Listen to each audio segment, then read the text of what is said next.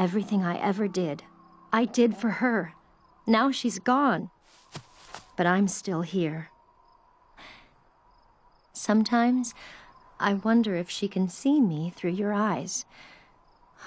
What would she think of me now?